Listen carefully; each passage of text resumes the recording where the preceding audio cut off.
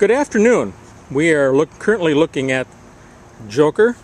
This is a Landis Rogers peony um, from 2004, so it's a fairly recent introduction as peonies go. It's a right now it's a brilliantly dark pink. It uh, just came out earlier this morning.